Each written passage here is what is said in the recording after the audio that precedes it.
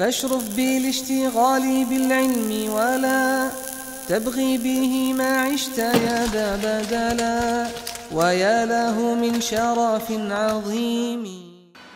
الحمد لله رب العالمين له الحمد الحسن والثناء الجميل وأشهد أن لا إله إلا الله وحده لا شريك له يقول الحق وهو يهدي السبيل وأشهد أن سيدنا ونبينا محمد صلى الله عليه وعلى آله وأصحابه والتابعين لهم بإحسان إلى يوم الدين أما بعد. إن شاء الله تعالى we are in our book uh, روضة الأنوار في سيرة النبي المختار written by فضيلة الشيخ صفي الرحمن المبارك فوري رحمه الله. We stopped at حلف الفضول so last lesson that we had We spoke about Harb uh, al-Fijar and when it took place and the age of the Messenger sallallahu alaihi wasallam and how old he was. And we also spoke about why uh, it was called Harbul Fijar. Why it was given that name? We also spoke about where it took place, that it took place in the market of Uqaba and it took place between two, two sides. One were Quraysh and Kinana on one side, and the tribes of Qais, Ailan on the other side.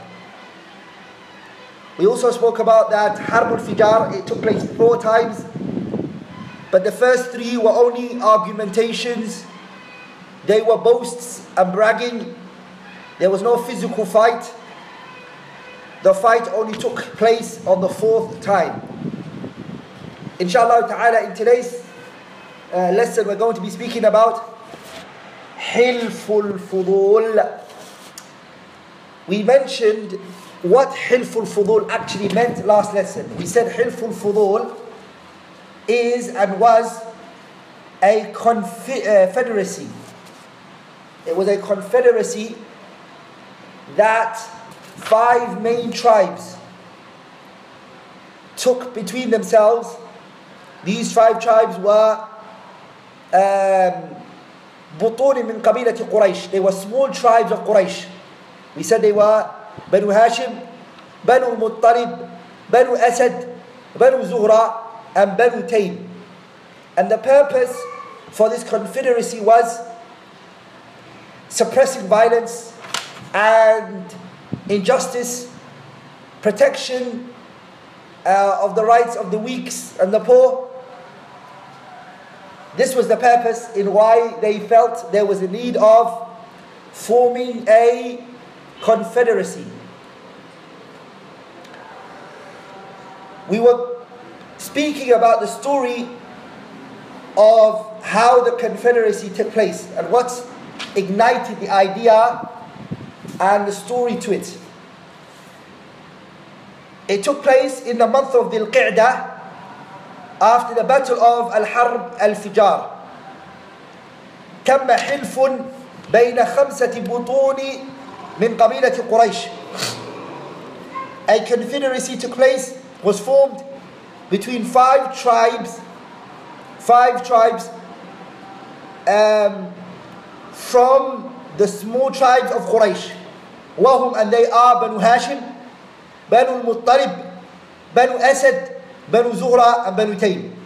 وسببه the reason was أن رجلا من زبيدة زبيد وسببه أن رجلا من زبيد the reason for this the forming of this confederacy was a man from the tribe of Zubayd جاء بسلعة he brought a merchandise إلى مكة he brought it to Mecca فاشتراها منه العاص ابن وائل السهمي and As ibn Wa'il as-Sahmi bought it from him. وَحَبَسَ عَنْهُ حَقَّهُ But he didn't give him the money. He withheld the money from him. He didn't give him his rights. He took the merchants, but he didn't give him the money. فَاسْتَدْعَى عَلَيْهِ بِبَنِ عَبْدِ الدَّارِ So the man called on to the tribes of Bani Abd, uh, the tribe Bani Abdiddar. He called on to them. asking them for help. And then he called on to Bani Makhzum. And then he called on to Bani Jumah. And then he called on to Bani Saham. And then he called on to Bani Adi.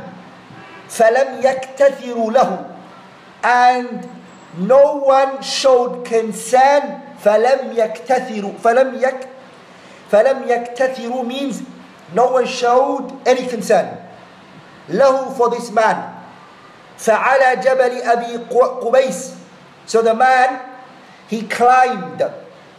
فعلى He went at the top of the mountain of أبي قبيس. وذكر ظلامته في أبياته. And then he read line of, lines of poetry expressing the oppression, the injustice, the violation that was put to him. So when he did this, وَنَادَى مَنْ يُعِينُهُ عَلَى حَقِّهِ And then he called out from the mountain, Who is going to help me? Who is going to aid me? Who's going to bring me back my rights? So when he said this, فَمَشَى فِي ذَلِكَ الزُّبَيْرِ بْنِ عَبْدِ الْمُطَّلِبِ The messenger's uncle, الزُّبَيْرِ بْنِ عَبْدِ الْمُطَّلِبِ He stood up. فَمَشَى Meaning he stood up and he worked to the following حتى اجتمع مع الذين مضى ذكرهم في داره that he brought all of these tribes those who were mentioned who were they Banu Hashim Banu Muttalib Banu Asad and Banu Zuhra and Banu Taym those five tribes they all came together في دار عبد الله بن جدعان رئيس بني تيم they all came together in the household of Abdullah ibn Jud'an, who was the leader of the tribe Bani Taym. وتحالفوا and they had a hilf. Hilf means a confederacy. وتعاقدوا It's the same as the word تحالفوا as Ibn Athir rahimahullah mentions. على ألا يجدوا بمكة مظلوما من أهلها أو من غيرهم إلا قاموا معه حتى ترد عليهم مظلمته they, done they formed a confederacy and the confederacy was that they do not find على ألا يجدوا بمكة that from today onwards there is not found in Mecca مظلوما an oppressed one a suppressed person من أهلها from the people of Mecca أو من غيرهم or other than the people of Mecca. No one is oppressed anymore. إلا قاموا except if he is oppressed, they all stand up. حتى ترد عليه مظلمته until the oppression is uplifted from him and that his rights are brought back to him. ثم قاموا and then they said, let's start the confederacy with Al-As ibn Wa'il al-Sahmi. Let's start the confederacy with Al-As ibn Wa'il al-Sahmi. And Al-As ibn Wa'il al-Sahmi was the man who took the rights of the Zubaydi, the Zubaydi man. So they said before uh, we wait days from now, let's execute this confederacy which we formed in suppressing the oppression, the violence. Let's start it with Al-As ibn Wa'il. So they stood up for him, فَانْتَزَعُوا مِنْهُ حَقَّ الزُّبَيْدِ And they stripped from him, and they took from Al-As ibn Wa'il the rights that he took from the Zubaydi man. وَدَفَعُوهُ إِلَيْهِ And they gave the Zubaydi man his rights. وقد حضر رسول الله صلى الله عليه وسلم هذا الحلف مع أعماله The messenger was present in this confederacy with his uncles مع أعمامه with his uncles وقال and the messenger said بعد أن شرفه الله بالرسالة the messenger said after Allah honored him with message meaning after the prophet became a messenger and Allah honored him by making him a messenger years later this was in Medina after he became a prophet the prophet said this he said لقد شهدت في دار عبد الله بن جدعان He said, I participated in the house of Abdullah ibn Jud'an, Hilfan, a confederacy. ما أحب I do not like ألي به حمر النعم that it is given to me a red camel which was the best camels that the Arabs used to like it will be in our contemporary time a Lamborghini Gallardo it'll be something like that something a Bentley huh? or a Bugatti huh? a Bugatti so the Prophet is saying for me to have a red camel today I wouldn't like that. For what happened that day in the house of Abdullah ibn Jud'an, the confederacy that was set, and how the oppression was uplifted. I loved it so much that if somebody tried to swap that day and that moment and that occasion for a red camel, I would not want that red camel for what had took place that day. So it is what? It is the messenger's consent to what Quraysh did was correct. And then the messenger went on to say, وَلَوْ أُدْعَى بِهِ فِي الْإِسْلَامِ أَجَبْتُ And in Islam, if I was called to this issue, لَأَجَبْتُ I would have obeyed it. I would have done it. I would not withhold. Um, meaning, if I was called for the likes of this action again, I would stand up and I would do it. Imam Ahmad narrated this story, this narration. Um, Ibn Hibban also narrated it. Al-Hakim narrated it in his Mustadrak. Um, and he authenticated it as well. Al-Imam al-Dhahabi agreed with him on it. Al-Sheikh Shu'aib al-Arna'ut rahimahullah, he authenticated it. Al-Sheikh al-Albani rahimahullah, also authenticated it.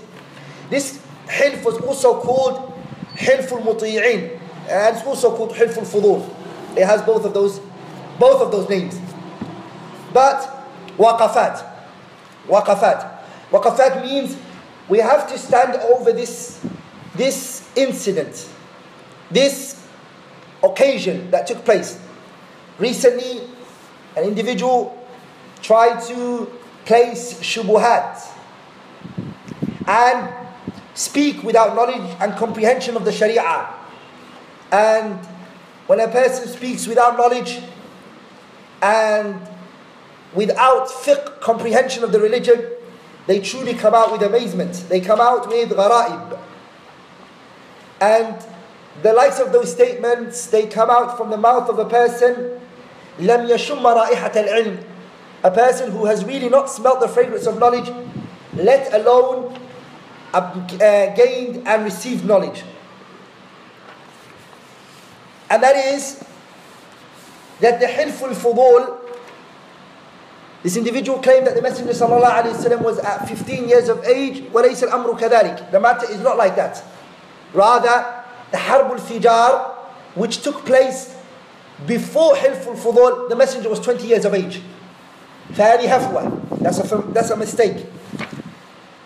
But the person, the individual, they mixed up two things with one another. And that is the issue of Hilful Fudul, using it as a, a, a means to justify the uniting with the disbelievers and to use it to unite with the innovators. This is not what Hilful Fudul showed. لا من قريب ولا من بعيد. It hasn't shown it from far, nor has it shown it from anywhere close. Hilful Fudul, for the least of what it shows is that individuals working together on something that the Sharia legislated. The Sharia came to repel oppression. The Sharia came to repel and to eradicate and to get rid of oppression and violence towards the innocent individuals. And so when the Messenger ﷺ said, if I was called to this in Islam, I would have obeyed it. Meaning Islam has propagated this. So if they came to me, we would be doing an Islamic practice.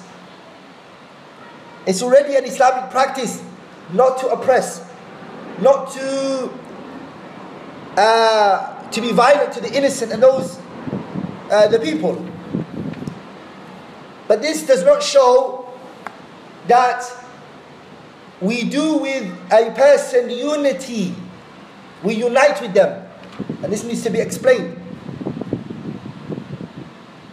A, a person may think from this narration or this hadith or this, uh, uh, this uh, speech of the Messenger, والسلام, it means that two people can come together. Like, let's put our differences aside and let's both come together and be one. This is not what the Messenger والسلام, did. Prior to Hilful Fudul, uh, the Prophet saying his statement, the Prophet's position, the Prophet dealing with the kuffar was crystal clear. So when they do come to him and they ask to work on something, the Messenger alayhi salatu wasalam, he would work with it if it was what? Al-bir, obedience of Allah subhanahu wa ta'ala, and if it was haqq. If it was obedience of Allah and haqq. For instance, the community, they are in need of a masjid. And so they request from them that the masjid is open. So they say to the Muslims in the community, you all have to agree on having a masjid. Now there is a thing that they all, or else they have no masjid in that whole neighborhood. So if they work towards, if they work towards establishing that masjid in the neighborhood, this is وتعاونوا على البر والتقوى ولا تعاونوا على الإثم والعدوان. But the condition that Ibn al-Qayyim stipulated is, in his kitab زاد al-Ma'ad fi خير العباد, is, that you're not able to do with the people of the Sunnah Ibn al-Qayyim says you, if you have if you have the ability to do it to do it with the people of the Sunnah and you don't need the innovators then you should not do it with them and you should do it what the people of the the people of the Sunnah. So it is now a matter of necessity. And a matter of necessity means, in its original essence, it wasn't permissible to work with them even. But it now got permitted lil darura. Necessity has now allowed it. To work with them in what? Al bir wa taqwa. In what? In obedience. And in righteousness. Muslim blood is spilling. So you unite with that, or you come to the um, conclusion of how you need to stop this blood of the innocent Muslims being killed. So, but you can't do it alone as a person of the Sunnah. Jazat, it is permissible. So the blood is spilt. Lakin from what re- from what angle? Min bab al necessity. Something that is permitted by necessity, it means in its original essence it wasn't permissible. It wasn't, orig- it wasn't permissible originally. Kashurub bil khamr, drinking khamr in the desert when you have nothing to drink, it is permissible. How about if a person says to you that the original essence of drinking alcohol is, is permissible because when you're in the desert you can drink it? هذا يدل على جهل. This shows ignorance. Another mistake on the side of that individual is is uniting with a person, you and I uniting, that is never permissible. In the sense where I can work with you on something which is bir and taqwa. Na'am, that's something. But to say I and you are going to be together, friends, and we're going to unite together, me and you, as two individuals, this is not, this is not what Hilful Fudul has shown. And nowadays we see people propagating the idea of me and these people are all together. We're all lined up together. We're all in the same picture. We all have tea and drinks together. We're friends. We are physically united. This goes against the Quran and the Sunnah, wallahi. It goes against the Quran and the Sunnah. The Messenger, alayhi salatu wasalam, he said to Aisha on the ayah in Surah Al-Baqarah, ayah 7, هو الذي أنزل عليك الكتاب منه آيات محكمات هن أم الكتاب وأخر متشابهات فأما الذين في قلوبهم زيغ فيتبعون ما تشابه منه ابتغاء الفتنة وابتغاء تأويله. وما يعلم تأويله إلا الله. والراسخون في العلم يقولون آمنا به كل من عند ربنا وما يذكر إلا أولو الألباب.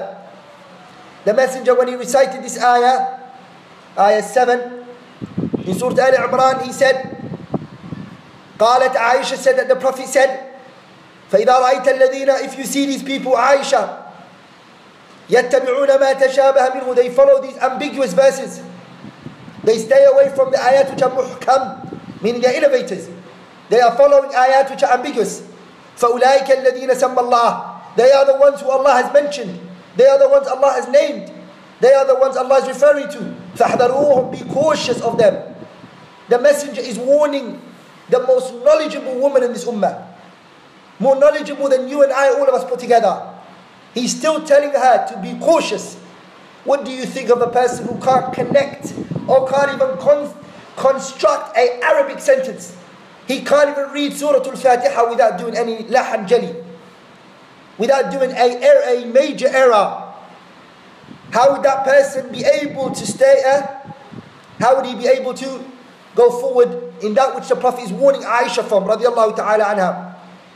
So you see, my beloved brothers and sisters, the messenger did not do khutbah, except in all the time he did khutbah, he would say, وَشَرَّ الْأُمُورِ مُحْدَثَاتُهَا The greatest of evil is the newly introduced matters. وَكُلُّ مُحْدَثَةٍ بِدْعَةٍ And every newly invented matter is an innovation. وَكُلُّ بِدْعَةٍ ضَلَالَةٍ And every innovation is misguidance. وَكُلُّ ضَلَالَةٍ فِي النَّارِ And every misguidance is in the hellfire. The messenger said to his companions in a hadith which Imam Muslim brought it in his muqaddimah on the authority of Abu Hurairah radiallahu ta'ala anhu. He said, سيكون في آخر أمتي أناس in the, in the late stages of Islam, there's going to come out a people يحدثونكم they will start to talk to you about بما لم تسمعوا أنتم ولا آباؤكم something you haven't heard of nor have your forefathers heard of فإياكم وإياهم Be cautious of them, stay away from them. Stay away from them. How then can a person claim that we come together? The messenger is saying, stay cautious of them.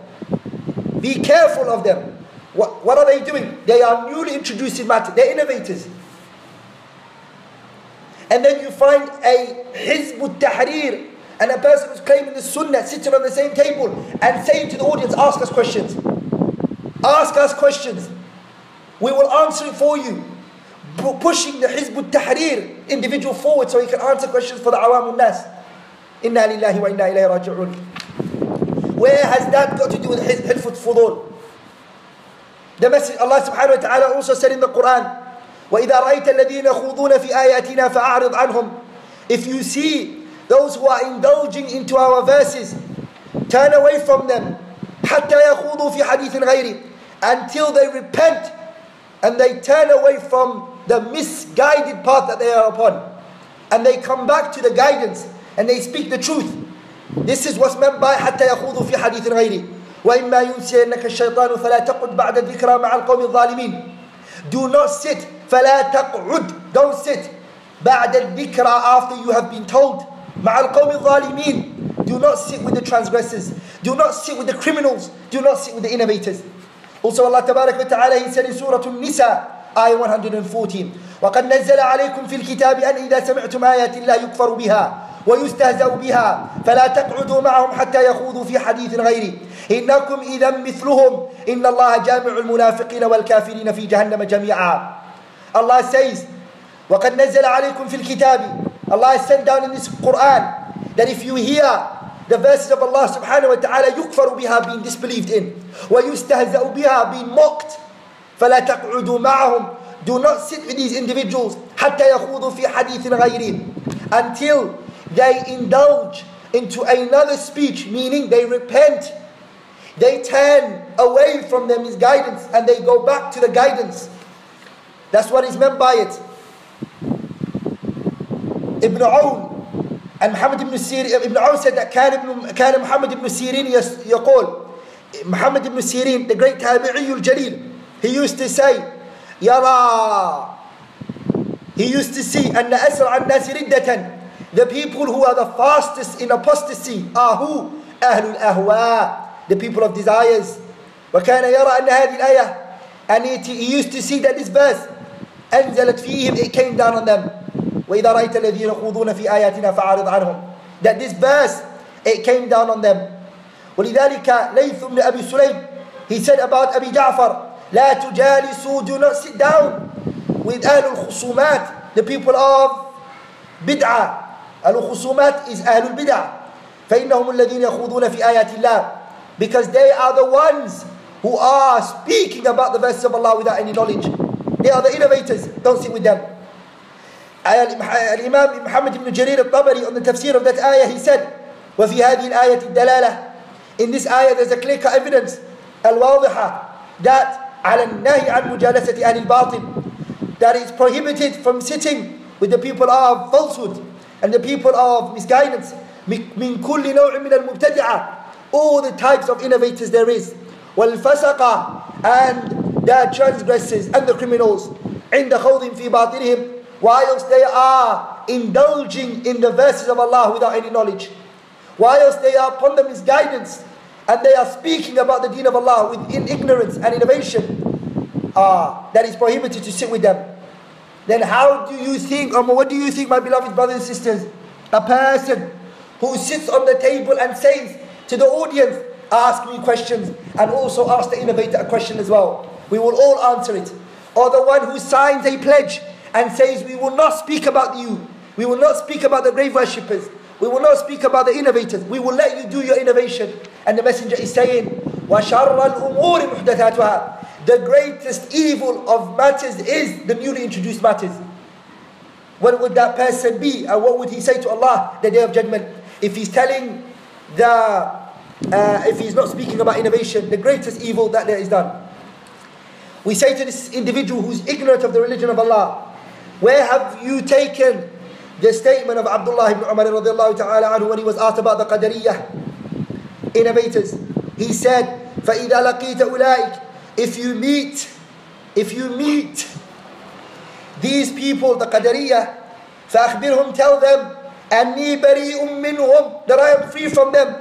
وَأَنَّهُمْ بُرَاءٌ مِّنِّي And that they are free from me. We have nothing to do with one another. We stay away from one another. We have nothing to do with each other. They are free from me and I am free from them. He didn't say we work together. He didn't say we unite. The asal is you're not allowed to sit with them. Mufaddal ibn Muhalhal, as Ibn Battah brings in his Kitab al-Ibana, uh, that he said, explaining the ayah, which is, حتى يخوضوا في حديث غيره he said لو كان صاحب البدعة إذا جلست إليه يحدثك ببدعته حذرت وفررت منه He said, if the innovator, if you sat with him, and when you sat with him, he spoke to you about his innovation, you would be warned against him and you would stay away from him, you would run away from him. If you met an innovator for the first time and he started to then tell you his innovation straight away, you would run away from him. But what would he do? ولكنه ولكنه يحدثك بأحاديث السنة. But rather what he would do is he will tell you the hadiths pertaining to the sunnah of the Messenger صلى الله عليه وسلم. في بدو المجلس In the beginning of his sit, he will speak to you only about the hadith of the Prophet عليه الصلاة والسلام. He would only tell you what your heart wants to hear. He will speak about the Prophet. He will speak about the Sunnah. He was, this is what he will do. ثم يدخل عليك بدعته. And then he will throw into you his innovation فلعلها then maybe it is possible تلزم قلبك that that innovation slides into your heart فمتى تخرج من قلبك when will that innovation then come out of your heart الإمام أحمد بن حنبل حنبل بن إسحاق said I heard أحمد بن حنبل أبي عبد الله as is in the كتاب الإبانة by Ibn Battah that Imam Ahmad said أهل البدعة ما ينبغي لأحد أن يجالسهم the people of innovation, it is not for anybody to sit with them. وَلَا يُخَالِطُهُمْ And it is not for anybody to mix with them. وَلَا يَأْنَسَ بِهِمْ And it is not for anybody to find friendship and companionship with them. Rather, my beloved brothers and sisters, the scholars are unanimously in agreement. إجماع العلماء قاطبة all of them على هجر والتحذير من أهل الأهواء that it is obligatory to boycott the innovators, to be cautious of them, to stay away from them, that to be run to run away from them.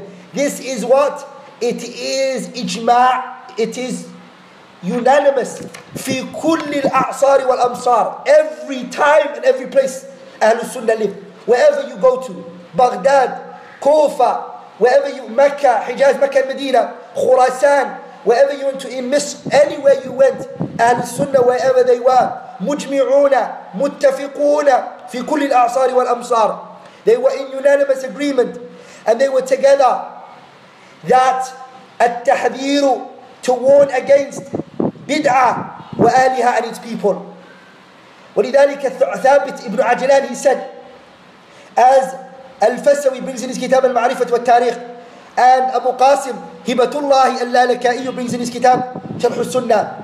That he said أدركت أنس بن مالك وابن, سي وابن المسيب وحسن البصري وسعيد بن جبير والشعبي وإبراهيم النخعي وعطاء بن أبي رباح وطاووس بن كيسان ومجاهد بن جبر وعبد الله بن أبي مليكة والزهري ومكحول والقاسم أبو عبد الرحمن وعطاء الخراساني وثابت البناني والحكم بن عتيبة وأيوب السختياني وحماد ومحمد بن سيرين وأبا عامر.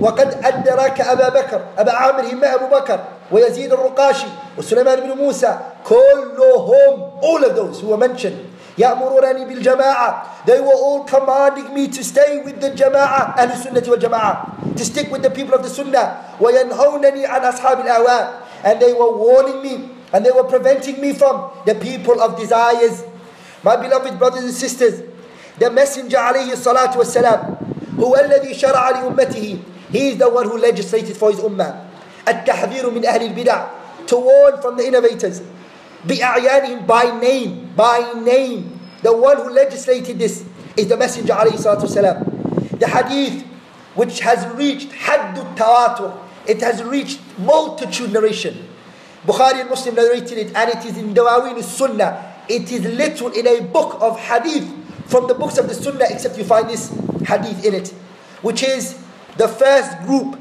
that ever came out the Khawarij the messenger he specified them look what he said إنه سيخرج من ضئضئ هذا it will come out from the back of this man from the lineage of this individual the word هذا the word هذا is تعيين the prophet specified it والتحذير منه بعينه the prophet specifically pointed at this individual and we know who he was he was ذو الخويسرة ولذلك Ibn Taymiyyah said it is Majmu' al-Fatawa, the 28th volume, page 233, in regards to the, the statement of the Prophet, he said, فلا, فلا بد من التحذير من تلك البدع It is obligatory to warn from these innovations.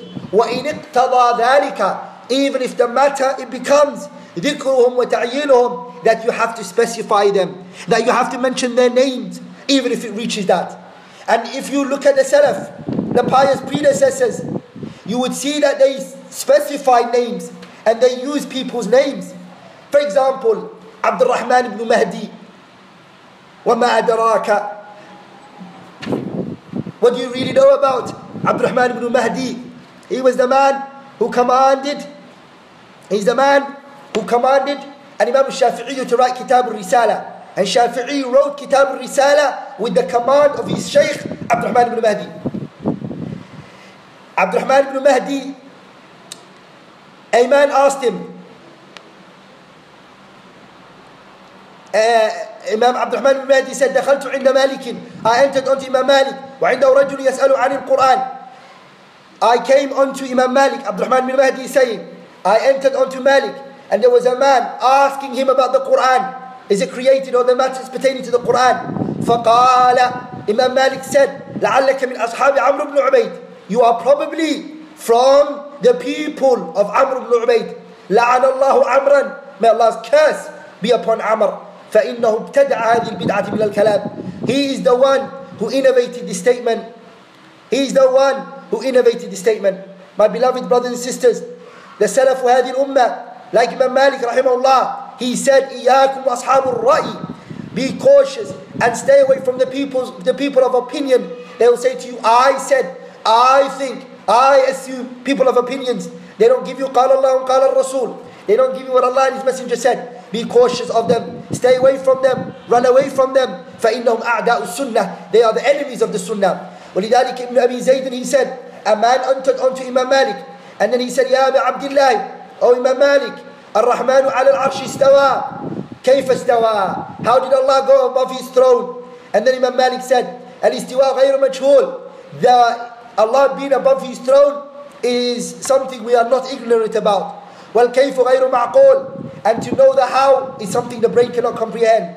والسؤال عنه بدعة. Asking this kind of question is innovation. والإيمان به واجب. Believing that Allah is above his throne is obligatory. وأراك صاحب بدعة. I see you as a man of innovation. وأمر بإخراجه. And he commanded that this man gets kicked out of the gathering. He didn't say let's work together. He didn't say let's unite. He said get him out of the gathering. The man asked, rather brothers, Ibn al-Jawzi rahimahullah, he wrote a book praising Imam Ahmed. It's called Manaqib al-Imam Ahmed ibn Hanbal.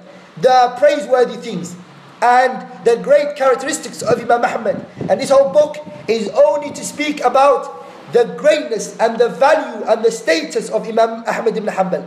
That is why Ibn Jawzi wrote this book. And guess what he praised Imam Ahmad for? This is what he praised him for. He said, وَقَدْ كَانَ الْإِمَامُ أَبِي عَبْدِ اللَّهِ أحمد ibn Hanbal. Imam Ahmad ibn Hanbal was لِشِدَّةِ تَمَسُّكِهِ بِالسُّنَّةِ How he was one who severely held, on, held him to the sunnah. Imam Ahmad was one who held on to the sunnah very hard. وَنَهِي عَنْ الْبِدَعِ And he was one who was severe and strong in prohibiting the people of innovation. يتكلم في جماعة من الأخيار. Ahmed used to speak about people. He used to speak about individuals. Allahu Akbar. إذا صدر منهم. If it became apparent from them and it occurred from them ما يخالف السنة. If they spoke about something that opposes the sunnah وكلامه محمول على النصيحة للدين and the statements of Ahmed speaking about these people is meant by or he meant by it sincere advice for the people. The reason why he spoke about these people was because it was an-nasiha, it was sincere advice. It was, it was for the people to stay away from these paths, my beloved brothers and sisters. So, a matter like this, that is that clear, that is well documented, that the Salaf, qarnan ba'da qarnin, generations after generations, they held onto it. They never let go of um, warning and staying away from innovators, telling their students not to go to them, naming them. Are we going to turn away from the kitab and the sunnah and the ijma' of the salaf wa hadhi ummah and the ijma' of the ummah qarnan ba'da qarn? Brothers, wallahi, this matter, if I was told to speak about it for a whole month without repeating a quote or an ayah, لاستطعت ذلك أستطيع ذلك I am able to do so it is not a matter that is, has any form of غموض it has no taint on it so we say to those people توبوا إلى الله توبة نصوحا repent to Allah a sincere repentance do not be from those who the ulama said يعتقدون ثم يستدلون فيضلون they believe first then they look for what they believe and they become misguided Though they don't look for the evidence first, but they believe in the matter first, then they look for the evidence. Let's be people who look for the evidence, then we believe in the evidence that we receive. We believe it based on those evidences.